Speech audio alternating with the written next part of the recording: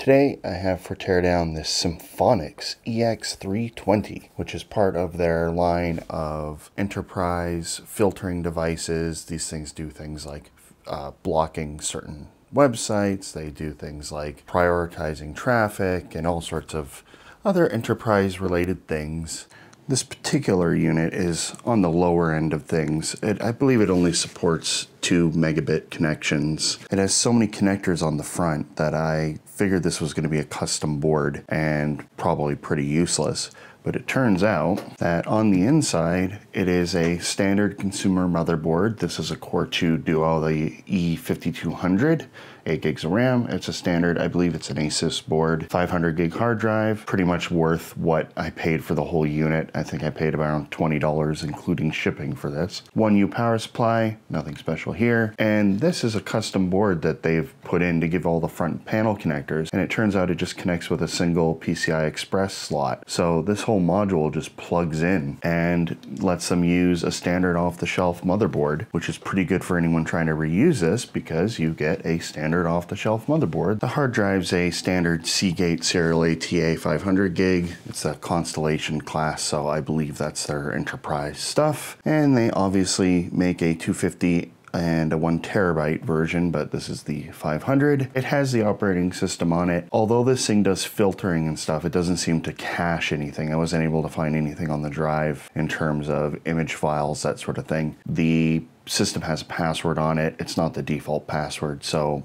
yeah, you can control a lot of it from the menu using the uh, the little LCD controls. You can change the IP address. It goes through a standard boot process where it checks the file system and that sort of thing. But once it's started up, you can go through the menus and set IPs and stuff like that. Setting the IP address was successful for me, but the catch is it the only open port is a SSH port, and I don't know the login for this particular system, so can't really do anything with that.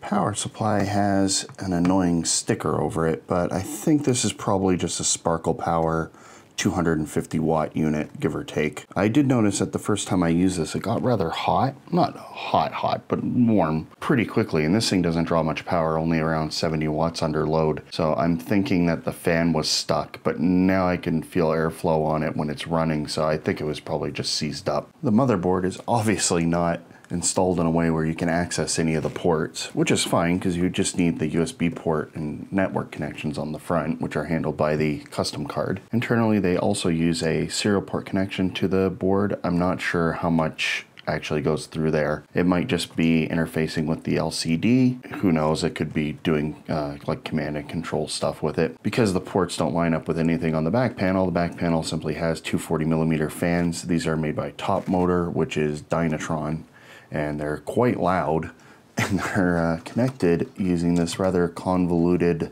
series of adapters and wire splices and stuff to get them running off a single fan header. They even put a little Scotchlok connector over the loose cable just to cap it off, which again is a little excessive. I think I've shown these in a previous video, but Scotchlok connectors from 3M are actually pretty cool. They use a single metal plate that pierces two wires coming in through here and not only does it pierce the connection, but when you squeeze the connector, it actually, uh, you may not see it too well, but it forces out some uh, soft silicone goop, which is very sticky and it'll cover the edges of the wire, making this a waterproof connection. I don't know how waterproof it is. It might just be like water resistant, but it is pretty cool that it's all just one motion. You crimp it essentially and it connects the two wires and makes it waterproof. So it's a pretty cool connector. They're fairly cheap on Amazon if you want some. The motherboard I believe is just a standard Asus motherboard. Uh, I'll have to take the top off to, uh, take this board out to double check that. I checked it earlier, I just can't remember what it was exactly. It has a low profile Dynatron fan, aka top motor. This thing is extremely loud as it's a blower fan, but you can at least control it with PWM, and by default they of course run it at full speed because it's an enterprise hardware thing and it's meant to be in a loud server room. But when you slow it down, it's actually not too bad, and it's quite low profile, albeit a little dusty. This is an LGA 775 motherboard. Like I said earlier, it's an E5200 CPU, which is an older model dual core 2.5 gigahertz with a 800 megahertz frontside bus. Pretty low power, but hey, it, it supports enough stuff that you can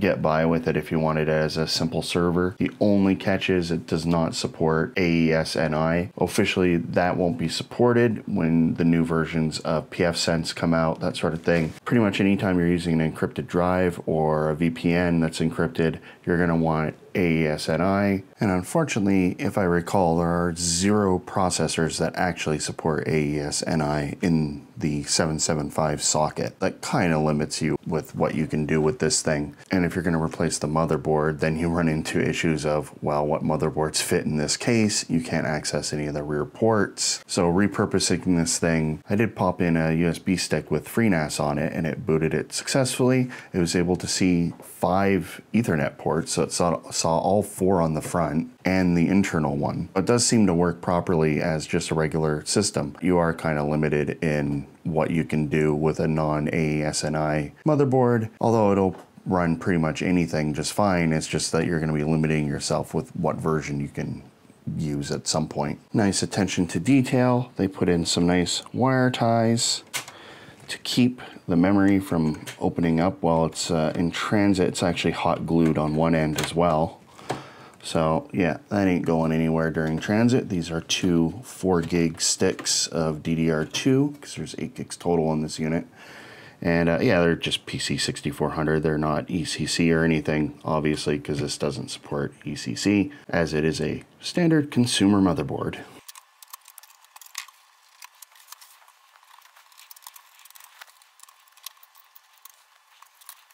The only thing of interest on the front panel are these little membrane switches and a little clear plastic window to the LCD. You have to take this out to get the custom board out. There's a nice little plastic shroud to just direct some of the airflow. I did notice that the chipset on this motherboard gets extremely hot if you don't have a fan on it.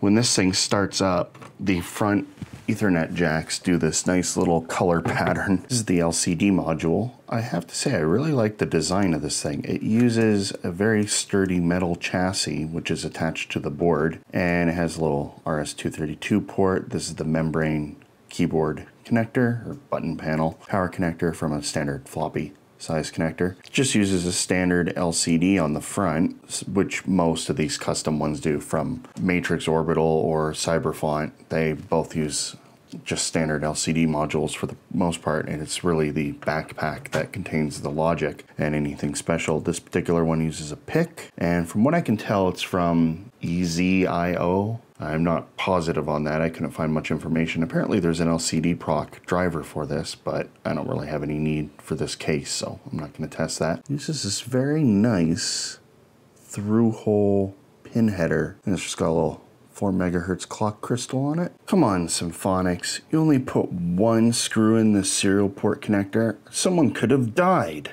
I was mistaken that FreeNAS detected this onboard gigabit port. It doesn't. Probably just because it's a Realtek chip and, you know, Realtek support under FreeBSD is iffy at best. This is the P5G41-M-LX2 slash GB motherboard from Asus. The only difference between it and the regular LX2 is that this comes with gigabit ethernet. It's an MATX board, as you can tell by the fact that it's not particularly large. It's quite good as something that you'd use to test hardware on you know when you when you're dealing with vintage hardware because it's got serial ports, it's got serial ATA, IDE, PCI, PCI Express.